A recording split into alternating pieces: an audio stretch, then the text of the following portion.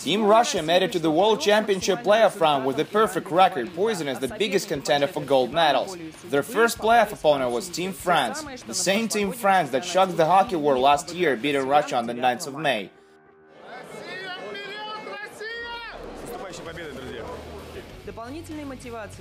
Team France had 17 returnees from last year. We didn't feel nervous at all, says Team Russia forward Artem Anisimov. We knew what we had to do. We knew we had to play the way we did in round robin, and it worked for us.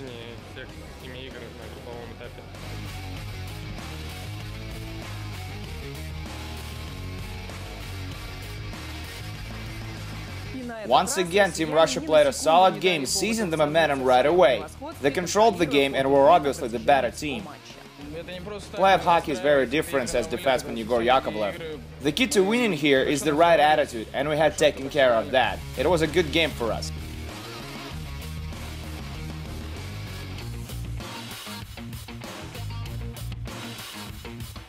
We're gonna play the best team from the other pool, says goalie Sergei Bobrovsky. We gotta keep up the way we were playing, stand for one another, and everything is going to be okay.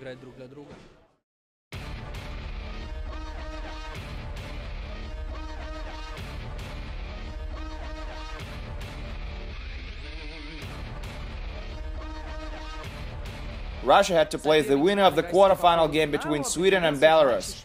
Team Belarus has made it to the playoffs for the first time in five years, and they got really close to repeating the upset they pulled off 12 years ago. However, this time they weren't that lucky.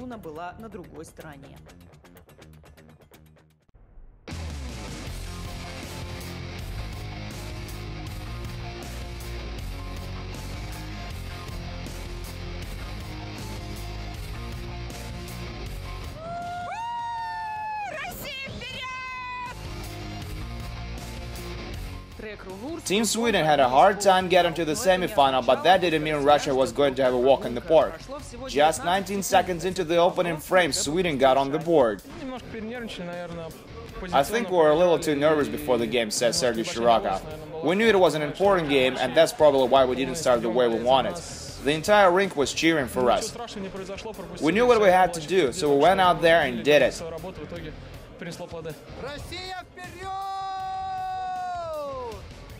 The rest of the game went more smoothly for Russia. Sergei Bobrovsky stopped every other shot he had to face and led his team to a win. The key moment of the game was when Bobrovsky scooped up the puck from the goal line, continues Shirokov. We were up 2-1 back then, and that save gave him enough confidence to play strong till the final buzzer. It's not that complicated, says Nikolai Kulemin. We allowed a quick goal, but after that we played the way we had to, and it worked for us. The quick goal didn't bring us down at all. We knew we weren't gonna let this one slip away from us when there were 10 seconds left in the third, adds Shirokov. I hope Sergei Plotnikov is gonna be alright though after that hit. We're gonna need him in the final game.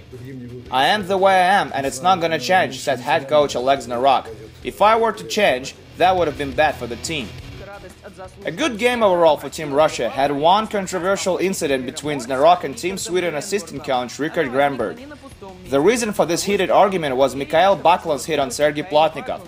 Plotnikov suffered an injury and that put the wheels in motion. Plotnikov's injury turned out to be a minor one, although head coach Znarok was suspended for the final game for his threatening gestures.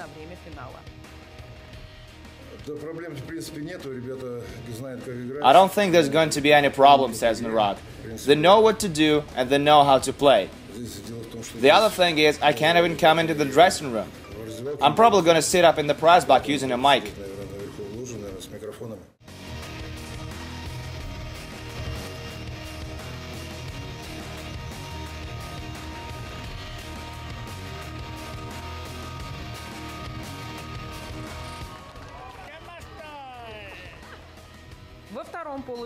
In the second semi-final, Team Finland beat Team Czech Republic 3-0.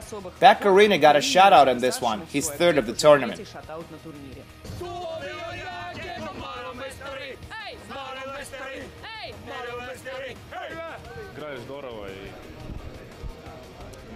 We played well and deserved to win, says Leo Komarov. We have 16 guys in our team who never played at the World Championships before. Almost half of the team represents the Finnish league. We have a good group of guys here. The coach does his job well. All we need now is a little bit of luck.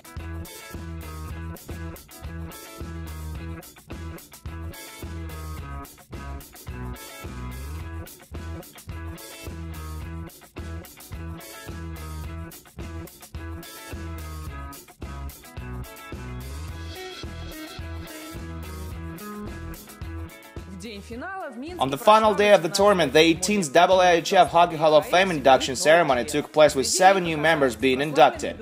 Among them, legendary defensive pairing of Team USSR Andrei Khomutov and Vyacheslav Bykov. Also, one of the best Belarus players in history, Ruslan Salei.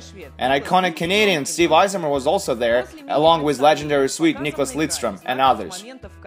It went as you would expect. After a short clip on the big screen, each new member went onto the stage to receive his honors. They put their national team jerseys and were given commemorative plaques.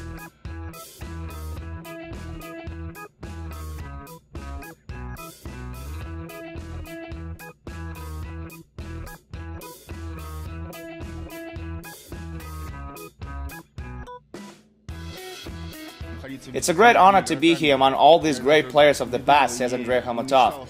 To be honest with you, I didn't expect that the WHL would think so greatly of my hockey career. It's a pleasant surprise. Team Russia has a great team, says Leo Komarov. I don't think we need to prepare for this game in any special way. Everybody understands it's going to be a tough game. We'll give it our best shot. We'll see what happens. It's the last game of the season, says Sergei Shirokov. We need to find strengths to get through it. I don't know where we're gonna get the strengths we need, but I know we'll battle real hard tomorrow.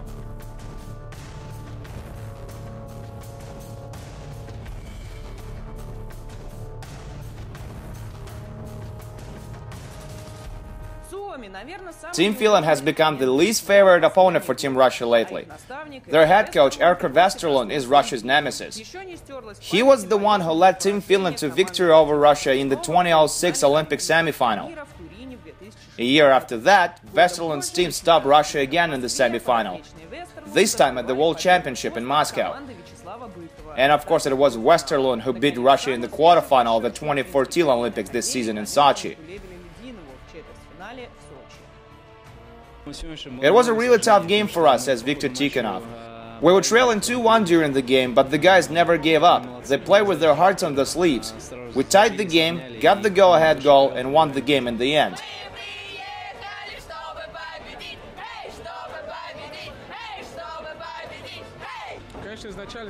I think we were a little nervous at first, says Shirokov. Then we calmed down and just did our job. We knew if we get the job done, we'll all get to celebrate in the end, and that's exactly what happened. If it wasn't for our coaches, we'd never be here. Finnish machine screeched to a halt in the final game. Even without Oleg Znarok on the bench, Team Russia managed to get a W.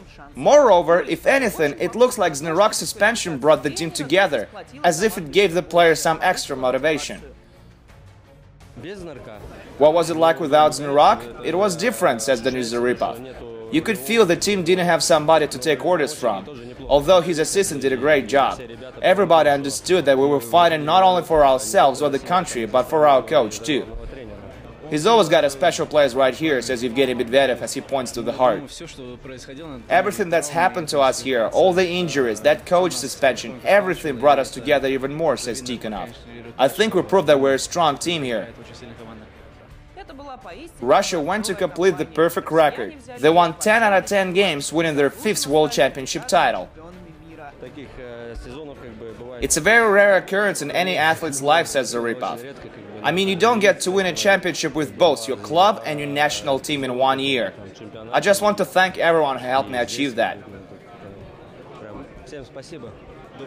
We made a lot of mistakes tonight, says Medvedev. I'm just gonna say it how it is. We were lucky they didn't capitalize on their chances. After we were allowed a goal, I think we calmed down and played better. It was a tough game, especially the third period. They were all over us, but we pulled through. Coaching duo Harijs Vītoliņš and Alex Znarok won a gold medal in their first year with Team Russia. Perhaps it's the start of a new golden era for Russian hockey.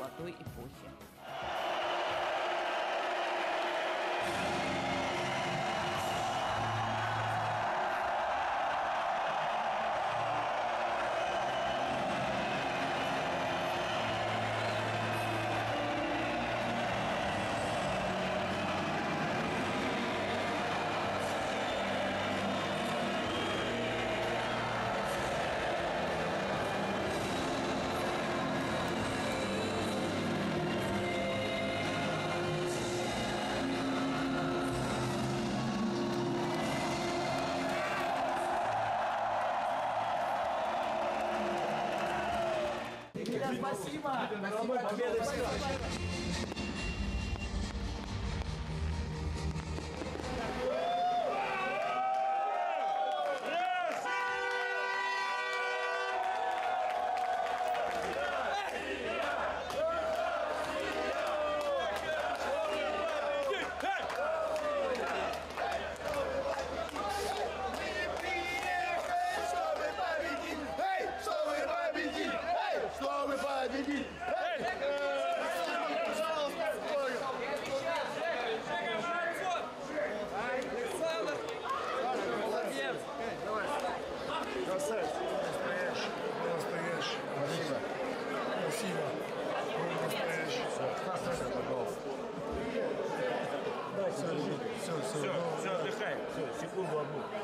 Я пойду собираться. Их уже, по-моему, самолет через полтора часа.